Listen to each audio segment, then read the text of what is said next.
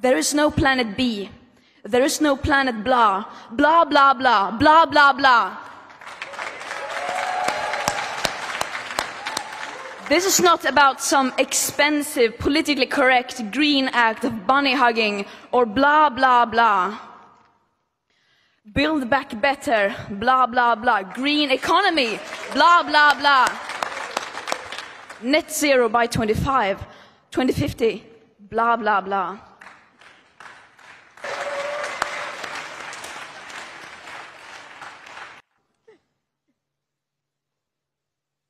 This is all we hear from our so called leaders.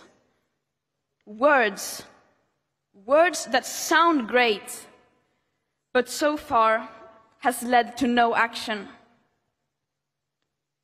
Our hopes and dreams drown in their empty words and promises. Of course, we need constructive dialogue, but they've now had 30 years of blah, blah, blah, and where has that led us? Over 50% of all our CO2 emissions have occurred since 1990, and a third since 2005. All this while the media is reporting on what the leaders say that they are going to do instead of what they are actually doing. And then not holding leaders accountable for their action, or rather inaction.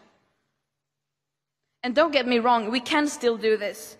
Change is not only possible, but urgently necessary. Look at the statistics. The emissions are still rising. The science doesn't lie. But, of course, we can still turn this around. We can no longer let the people in power decide what is politically possible or not. We can no longer let the people in power decide what hope is. Hope is not passive. Hope is not blah, blah, blah. Hope is telling the truth. Hope is taking action. And hope always comes from the people.